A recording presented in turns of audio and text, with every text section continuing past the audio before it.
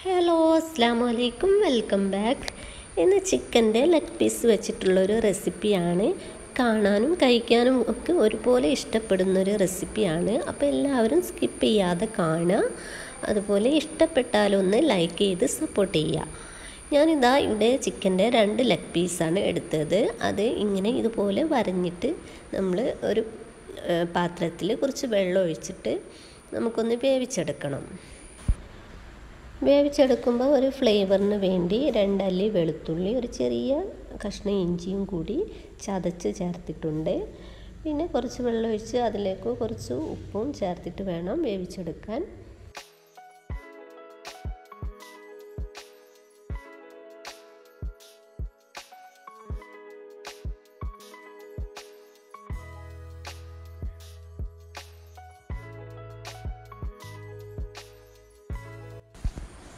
അപ്പോൾ ഇതാ ചിക്കൻ നല്ല സോഫ്റ്റായിട്ട് തന്നെ ഞാൻ വേവിച്ചെടുത്തിട്ടുണ്ട്.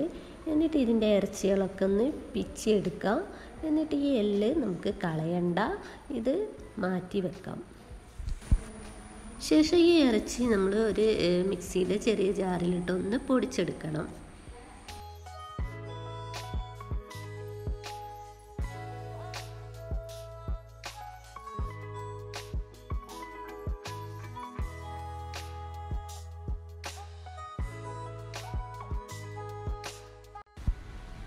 അപ്പോൾ ഇതാ ഞാൻ പൊടിച്ചെടുത്തത് ഒരു ബൗളിലേക്ക് മാറ്റിയിട്ടുണ്ട്. ഇനി ഇതിലേക്ക് ഇതാ രണ്ട് ഉരുളക്കിഴങ്ങ് വേവിച്ച് ഉടച്ച് വെച്ചതാണ്. അത് കൂടി ചേർത്ത് കൊടുക്കാം. പിന്നെ കുറച്ച് ഇഞ്ചി വെളുത്തുള്ളി പേസ്റ്റ് ഇട്ട് കൊടുക്കാം. അതുപോലെ തന്നെ ഒരു ചെറിയ സവാള ചെറിയതായിട്ട് അരിഞ്ഞെടുത്തിട്ടുണ്ട്. അതും ചേർത്ത് കൊടുക്കാം. പിന്നെ വേണ്ടത് മല്ലിയിലയാണ് അതും ചെറുതാക്കി അരിഞ്ഞ് വെച്ചതാണ്. അതും ഇട്ട് കൊടുക്കാം. പിന്നെ ആവശ്യത്തിന് ഉപ്പിട്ട് കൊടുക്കാം. പിന്നെ വേണ്ടത് അര ടീസ്പൂൺ ചെറിയ ജീരകം അര ടീസ്പൂൺ മല്ലിപ്പൊടി അര ടീസ്പൂൺ മുളക് പൊടി കാൽ ടീസ്പൂൺ മഞ്ഞൾപ്പൊടി അര ടീസ്പൂൺ കുരുമുളക് പൊടി പിന്നെ അര ടീസ്പൂൺ ഗരം മസാല. പിന്നെ ഒറിഗാനോ ഉണ്ടെങ്കിൽ അതും കൂടി അര ടീസ്പൂൺ ചേർത്ത് കൊടുക്കാം.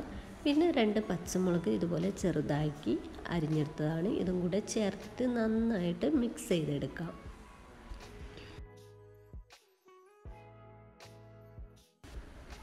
അപ്പോൾ ഇതാ മസാലയൊക്കെ നന്നാക്കി മിക്സാക്കി തന്നെ കുഴച്ചെടുത്തിട്ടുണ്ട്. ഇനി വേണമെങ്കിൽ ഇതിലേക്ക് ഉപ്പ് കുറവൊക്കെ ഉണ്ടെങ്കിൽ ഉപ്പ് ഈ സമയത്ത് ചേർത്ത് ഒന്നുകൂടെ കുഴച്ചെടുക്കാം. എന്നിട്ട് ഓരോ ബോളാക്കി എടുക്കുക. കയ്യിൽ വെച്ചിട്ട് ഇങ്ങനെ ഇതുപോലെ പരത്തി എടുത്തിട്ട് നമ്മൾ മാറ്റി വെച്ച ലെഗ് ഉണ്ടല്ലോ അത് ഇതിലേക്ക് വെച്ച് പൊതിഞ്ഞു കൊടുക്കുക. അപ്പോൾ ലെഗ് വെച്ചിട്ട് ഇതുപോലെ ദാ പൊതിഞ്ഞിട്ട് നന്നായിട്ട് കൈ കൊണ്ട് പ്രസ് ചെയ്ത് ഉരുട്ടിയെടുക്കാം.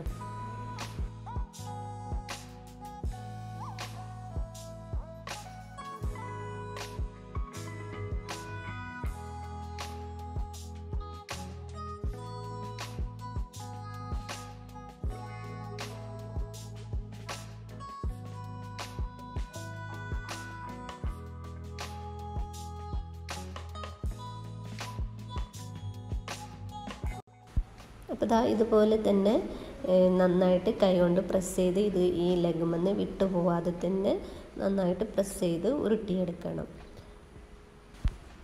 അപ്പോൾ ഇതാ ഇനി ഇതൊരു പ്ലേറ്റിലേക്ക് മാറ്റി കൊടുക്കുക വീണ്ടും ബാക്കിയുള്ള മസാല കൂടെ ഒരു ബോൾസ് ആക്കിയിട്ട് അടുത്ത ലെഗിൽ കൂടി ഇതുപോലെ പൊതിഞ്ഞ് കൊടുക്കാം.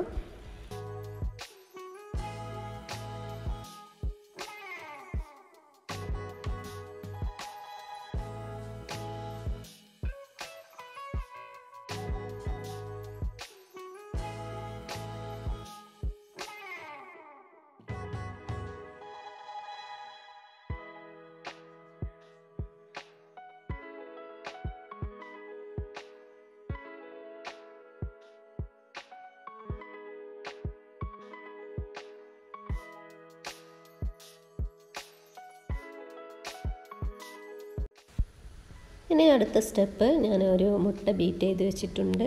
അതുപോലെ കുറച്ച് ബ്രെഡ് ക്രംസും എടുത്ത് വെച്ചിട്ടുണ്ട്. എന്നിട്ട് ഓരോ ലെഗ് പീസും എടുത്തിട്ട് ഈ മുട്ടയിൽ മുക്കിയതിന് ശേഷം ബ്രെഡ് ക്രംസിലിട്ട് പൊതിഞ്ഞെടുക്കാം.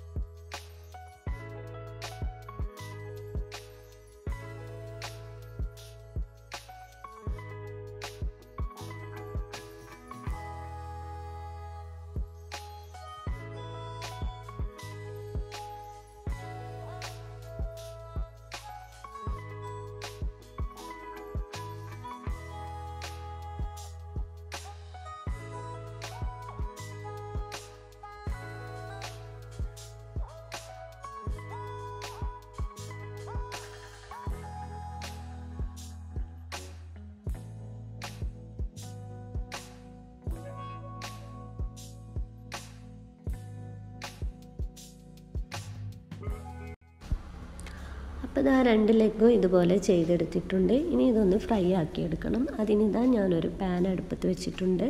ആവശ്യത്തിന് ഓയിൽ ഒഴിച്ചു കൊടുക്കാം.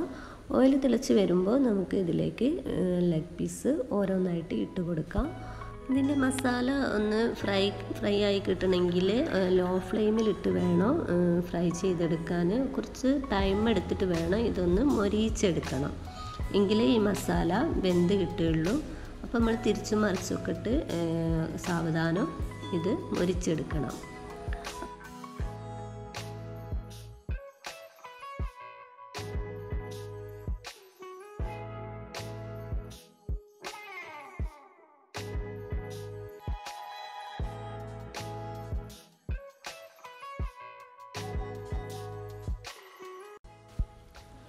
അപ്പോൾ ഇതാ ഇതിന്റെ എല്ലാ വശങ്ങളും ഒരിഞ്ഞു വന്നിട്ടുണ്ട്. ഇനി നമുക്കിതിന്ന് എടുത്തു മാറ്റാം. അപ്പോൾ ഇതേ ഉള്ളൂ ഇതിന്റെ പ്രിപ്പറേഷൻ എന്ന് പറയുന്നത്. ഉണ്ടാക്കാൻ വളരെ എളുപ്പമാണ്. അതുപോലെ തന്നെ കഴിക്കാനും വളരെയധികം ടേസ്റ്റാണ് നിങ്ങളെല്ലാവരും ട്രൈ ചെയ്ത് നോക്കുക. ഇഷ്ടപ്പെട്ടാൽ ലൈക്ക് ചെയ്യുക. അപ്പോൾ വീണ്ടും അടുത്ത വീഡിയോ ആയിട്ട് വരുന്നവരേക്കും. ബ ബായ്